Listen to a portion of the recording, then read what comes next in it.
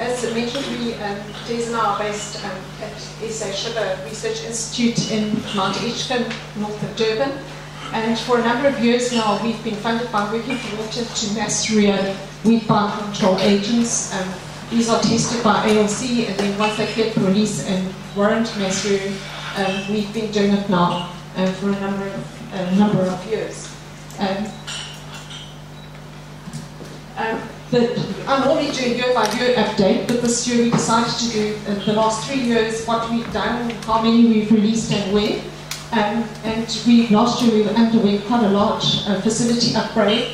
Um, and we also experience our various problems with, with labour, like just um, everybody else does, with um, poor quality plants um, and other invasive insects in our cultures. So um, what we've done, I'm just going to look at what we've done this year so far. Um, we've put up new, some new portable greenhouses, um, and these have been really beneficial. They're far bigger than the ones we had previously, and our staff have done it all on their own. They've erected them.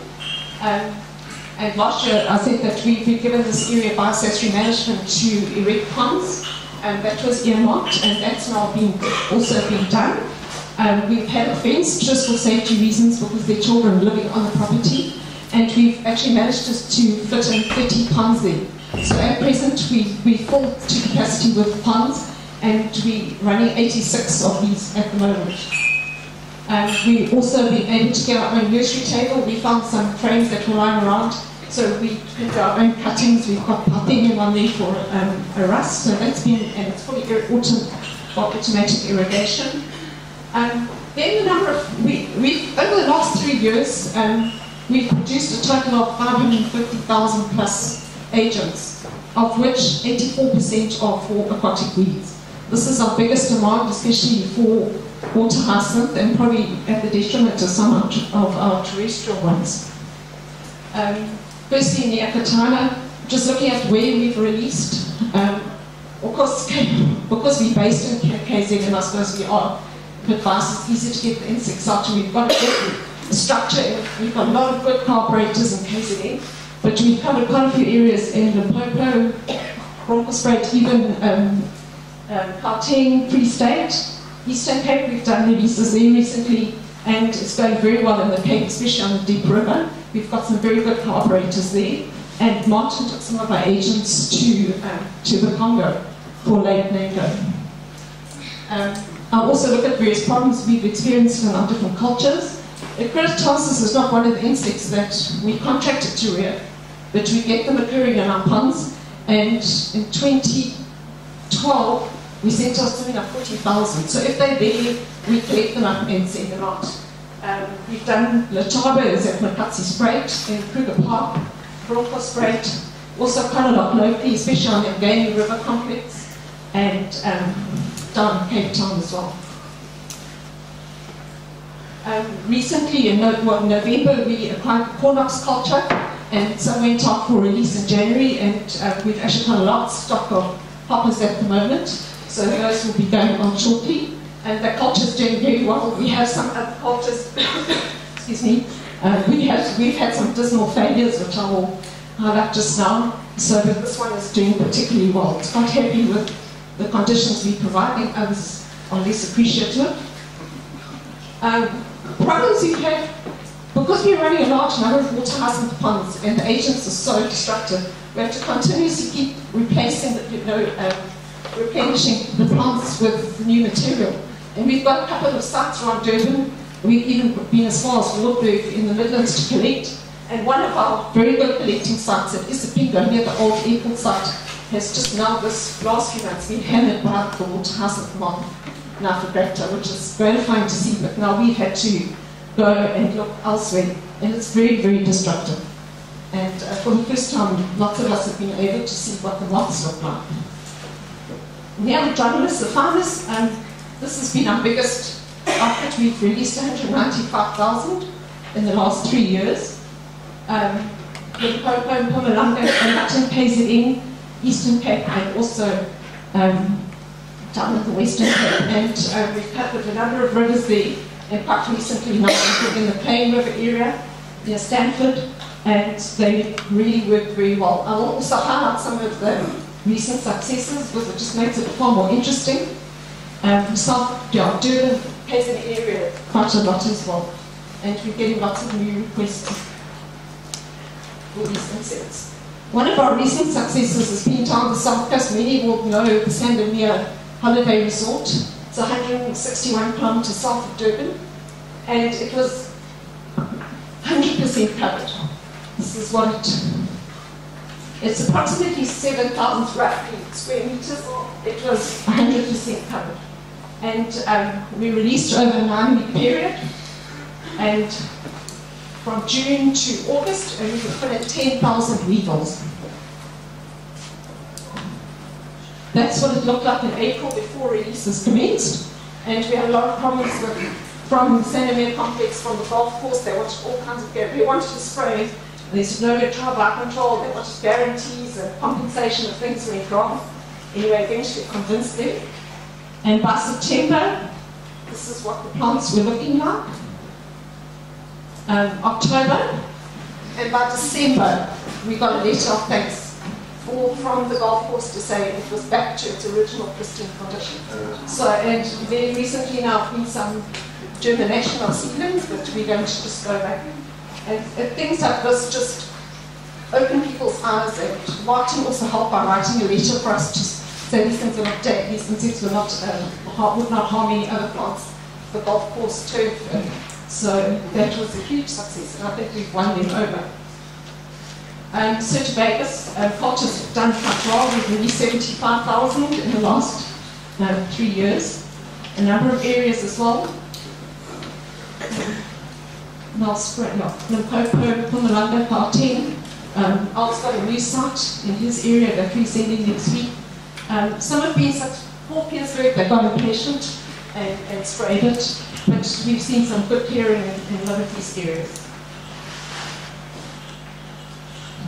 And this is just another small example. This is in Hillcrest, which is 29 kilometers west of Durban. Um, uh, not, a, not a very large, this is the new Hillcrest Hospital on your left, and there's an eco estate. And I got a call from the lady who does the clearing, and she does the gardening and maintenance, and she clears up the aliens. And she requested agents that were collected at Sasri. Um, and we, gave, we released over a three month period. And it was just a small release. It was like 150 and then 250. And she phoned me two weeks ago and said, was there ago and Salvinia's getting worse. Can you come and have a look?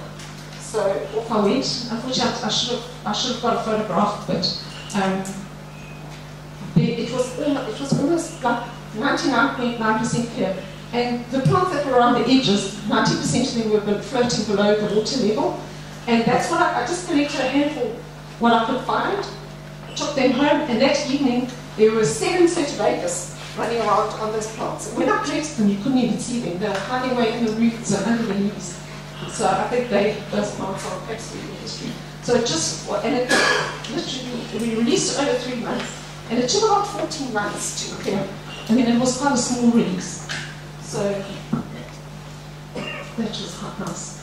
We had a huge problem with our um, St. Vegas culture. It got going a bit late this year, because we only released during summer. And we had this water lily leaf cutter in our ponds.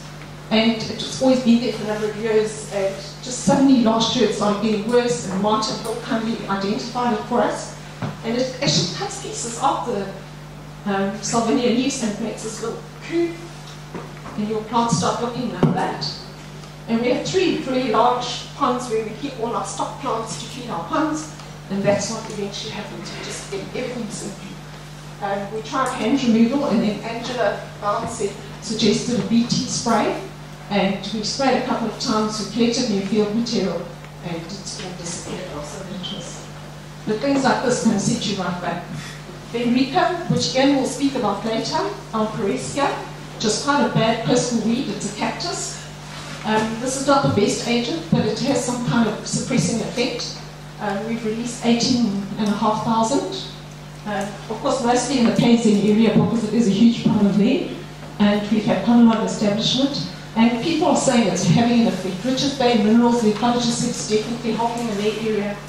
Um, in Yellow Park, there's the Steinbach Nature Reserve. They're seeing an effect. Um, and in the Durban Harbour area on the bluff, we've released now close to 5,000 of these people, so there's a huge um, area of arrest there. But Gala's got some nice new agents in quarantine, which I think will knock spots off this one.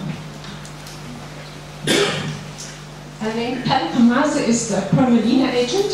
When I started six years ago, this is what um, we read exclusively on Chromolaena, did huge releases. And then this was, it was terminated in 2011, and this was the last of our um, releases. And it seems to prefer uh, young seedlings in the shade, and that's its niche. And it's still in the field today, and I'm sure it's having some. Apian, um, agents have not been bred. Uh, we haven't had that much success with them, especially Apian in the last year. It's been quite dismal. Um, but we've done some releases. Um, we need to do an assessment of those units, which we're to persevere with that on. We've been given some, uh, this now, which is a better host plant, and we're busy bulking up on those plants. Um, it's, a, it's a PTL baller, on, um, and it has been shown to have an effect on, quite a severe effect on the plant in a good number of forms. Uh, this is the flea beetle that feeds on the roots of um, Longitarsus, uh, of, of um, lantana. Um, it feeds on the leaves and then lay the eggs at the base of the plant and they feed on the rootlets. Um, and we've had some establishment of those, especially in the eastern area. We've definitely found it there.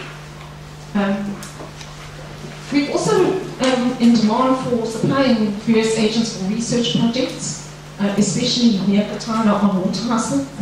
And Joss Fitz is one that they took a lot of uh, 26,000 in the last three years. So that's also you know, at least able to provide, it may just be a, a few, like 40 Anthonomus or people need to write up their master's projects and just need a few inserts, so we supply those as well. Um, all our, um, we, we're running a team of 10 people at the moment. We started just with one. We've now got 10, we've, only, we've got two vacant posts, so we've got eight people at the moment. But I did an exercise because, I mean, it is a capacity building program and to look at where the staff we've had through the system are today. Because that's always quite interesting and it's of importance to working for water. Oh, and sorry, I missed that one. And we're actually um, the rust to solve that on our program for the, probably for the new contract. Okay. Um, six of our staff members, now we, when we employ them, we insist on a matric, a biology, a bonus if they've got a driver's license was we also had to go out to the field. And six of our staff have moved into permanent posts in our unit, which does, they rear the uh, sugarcane uh, moth and also do biological control on that. So it's a permanent post and it's an opportunity for six, six staff out of 22 that I've looked at in the six years that I've been there have moved into the insect unit. One has gone into the entomology insecticide program and then um, he moved to an FET college as a lecturer.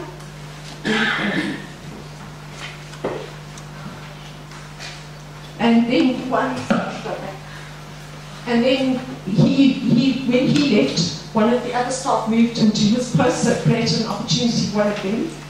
Um, one we have technical teams at SASRI who do, you can book them, they do field surveys or field work.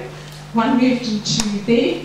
and he then went to ARC, worked there for a while, University of Zululand, and he's now a supply officer at Illovo Sugar down South Coast in KZN. And one moved to Australia, he's a, nematology technician. Um, one moved to the Morgan where they do sampling for their trials, they analyze the trial results. And he's now working for BHP Billiton as a laboratory te technician in Mpumalanga, it's a coal mine. Um, and then one of our ladies went to a plant breeding program on one of our satellite farms. And one went to Department of Home Affairs Border Control. And then one of that particular lady was also being on they on KZN borders, monitoring borders. And, and it's good because they've had experience with uh, weed bar control. And then we had one who went to Rhodes University. she's sitting right in the front, and she's now um, with working for water as, a, as an environmental officer. Um, two have gone to citrus research and doing very well there. One, she came with a biotech degree, an HDE, and she's now teaching at a local primary school. She's teaching life sciences there. And one, this guy actually left for health reasons. He was an epileptic and just stressed with Durban heat, and his incidents getting worse and worse. So he left the show and is starting his own logistics business with his brother. Um, one, we had one who actually had a master's degree. Um, he left to go and do his PhD at UKZN, and then his supervisor left, and he is now air control, quality control consultant for an air conditioning company. Um, one relocated. Um, she's not employed now. She went up to Pongola. She actually did our economics culture, but unfortunately there's no black up there. And this guy, we know he's employed in Mpumalanga, but we don't quite know where. And then one, we don't know. We've lost track. So I think that those 22 have been through the system, they've all done well. All our staff have, except for two new recruits we employed last year, have been through the roads. Um, uh, with fire control course with Martin, and we also get um, capacity working water capacity building students from UKZN and Maritzburg twice a year, so they can gain some experience. And we had one unfortunate who was deceased in an armed robbery. So thank you for working for for your funding, and also for SASRI for putting up with us. And thanks very much. And they do have reference. I want to ask you, is still a demand for their biocontrol agents say that you're currently rearing? Um, I sent around a questionnaire and um, asked people, are there any new biocontrol agents that we should consider to rear in, in the future? And then, uh, are there any new weeds we should uh, consider and, and, and uh, agents on those? And uh, it's, it's the, the, normal thing, you send out a lot of questionnaires and you get a few back. So it's well, just exactly the same as as other people when it comes to putting in forms. Um, but yeah, we got uh, five replies from the ARC um, to, to, when we just, well, this is for the whole questionnaire. And, and the first question is, uh, should we continue with what we're rearing? And um, uh, I, the, the, the alien species in the left column, the biocontrol agents we're rearing are in the, next column and, and then just uh, what people said, why for yes, and for no, and if there's no, nothing there, there was no comment about it. And some people um, just didn't want to comment with it, so that's where a question mark is. And, you know, looking at that, it's, it's um, was back to the guys here that are here now today, they're the ones are working and say they wanted, so there's also another year, another Y uh, for years uh, over there. Um, the, the, response I got from Working for Water, they had uh, two no's there uh, uh, for that, but um, they, that again would be uh, open to debate. Let's, let's see what people think. But looking at that, especially the water weeds, is a, a, a, big demand for us to keep on with, with those, and, and also most of the, um, the, the terrestrial weed biocontrol agents. Um, Phenrica, um, after Jens giving his talk, you know, that we, we might have to uh, lower our production of that in favour of the, of the new, new agents um, when they become available. Um, again, the two left-hand um, columns are the, again, the same weeds that we, we, we're looking at now, uh, but those are the new um, the insects that, that, hopefully will be released in, in September or, or get released permits. Um, the, the Briske's uh, Korea of years, which um, we saw a little bit about earlier this month, this, this week, and uh, you'll see it later. I've got Chromina, a little moth called Dichrorampha, uh, and then for Parthenium um, uh, strenotus, and, and Smicronyx. But Smicronyx is going to, going to come out at the end of uh, 2014, but that still gives us time to, uh, to plan uh, rearing and so on. Um, and then on uh, a little Delphacid uh, is also a, a, new agent that we, can, can, look at. So that, that's what, what people are asking for. Yeah. And then we've lost the last, oh no, sorry. The, the last slide I've combined on the, other, on the other side of the table. So, um, we also asked, are there new weeds we need to target? Um, and, and um, We've got cat, uh, creeper, um, the, uh, there's the one, and uh, hypocosmia, there's a biocontrol agent that we can rear on it, and also Tamarix, and, and there's two bar control agents on that. So um, yeah, you know, if we've got to do all of that, we, we probably haven't got the space um, at, at, the moment. Uh, so we, we, we're going to have to be quite um, clever or, and, and also uh, rely on, on the, the experts, um, you guys are experts, um, opinion on, on, you know, which, which are the best areas, which ones will give us the best bucks for our money. So yeah, I think if there are any questions uh, or discussion, uh, we'd be happy now to answer them.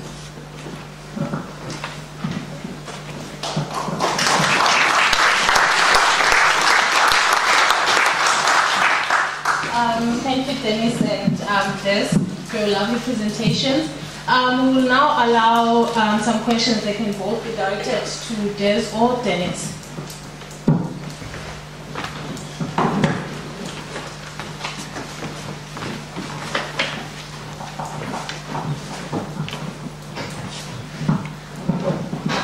Okay, uh, I just want to understand, uh, looking at the they say the release sites that we have uh, throughout the country. So what I want to understand is, uh, let me say production or the amount of agents that you are mastering. If you are uh, mastering enough agents or you are under mastering, looking at the requests from the regions.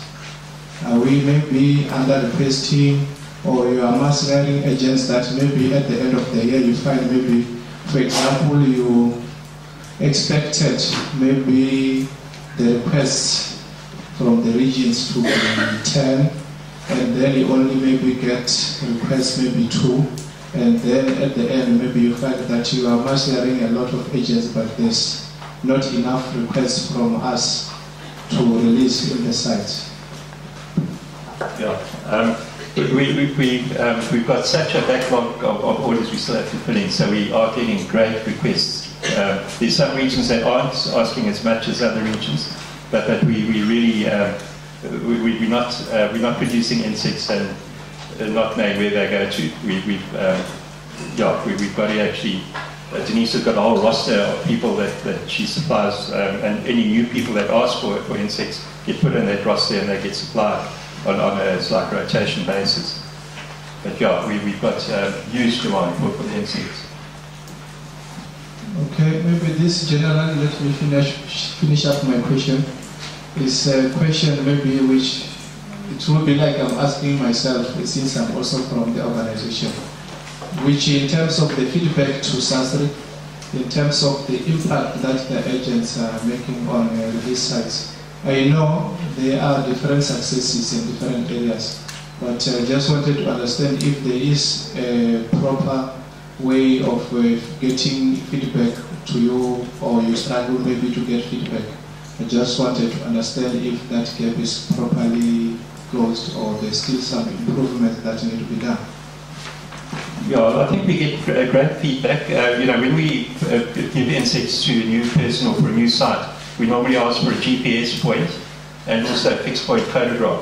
Uh, the fixed point photograph confirms, uh, allows us to confirm that the weed that we, we targeted is the actual one uh, that the insects are, are good on. because quite often we actually had the wrong kind of uh, insect asked for because the people couldn't identify the weed properly. So we, we need to check that. Um, and, and, then we've got some people that, that send regular photographs back, fixed point photographs. The, the, that, that could be improved with some of the other sites. But yeah, we, we get uh, quite nice feedback.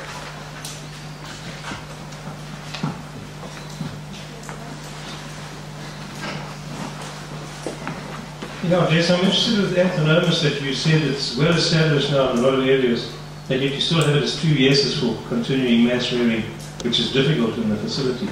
Would it be better to now just move into the field and recollect there for redistribution? Um, it, it, uh, we could do that in, in southern Natal, uh, but it I don't if you remember Denise's map of, of, the distribution where we have released, there's big gaps in northern Natal, along the zone, and we'd like to get more sites established in, in, in the bugweed areas so that you don't have to travel so far to, to relocate uh, insects. So uh, I, I think, uh, yeah, I'd like to see a little bit a better spread of established density before we start doing relocation.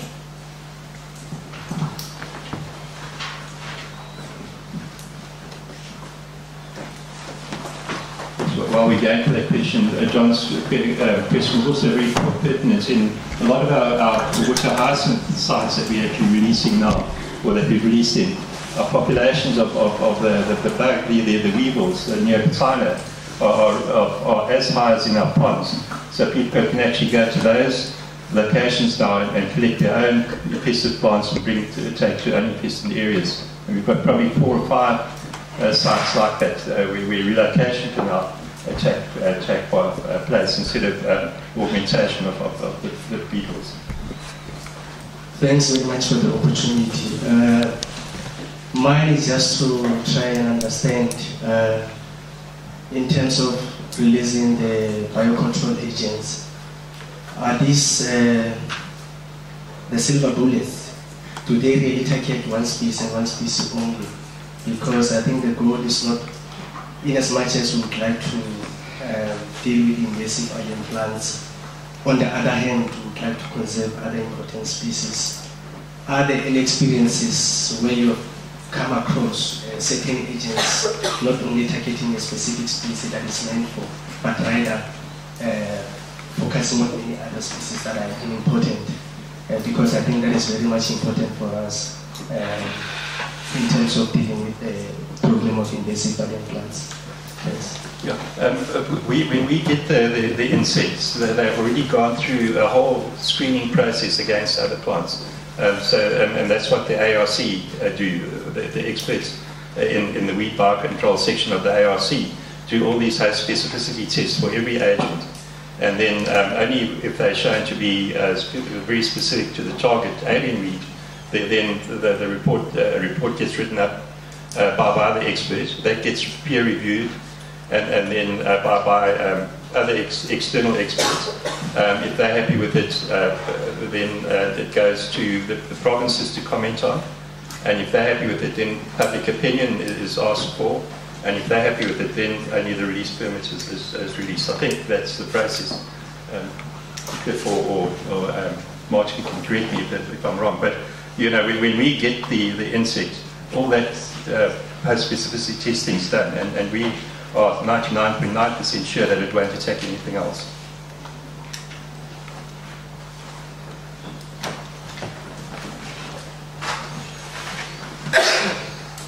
Thank you very much for the talk.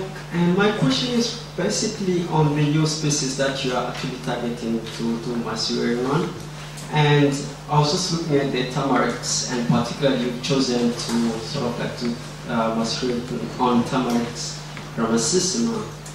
And um, the two um, uh, the two beetles that you've chosen, is it like already gone into um, screening for the host specificity test, or it's just uh, projects that are like undergoing, and then as soon as uh, all the work has been done, then you'll start rolling.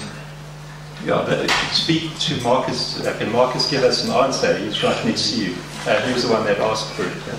It's a um, prospective project at the moment. So Galore has done the molecular work, and he'll speak later in the week about that, to say that the, the target species, Tamarix ramosissima, is basically sitting naked away from our own tamarix. Um, that's, that was the main question there. And we are looking at the Americans who have used those two species of beetles in the United States. That's my proposal, that we consider them. But obviously they'll have to go through that screening system before we consider it. And to, to reiterate what you said about the previous question, we've never made a mistake in this country yet. We have not had a serious non-target effect. And biocontrol, I think, should be very proud of that.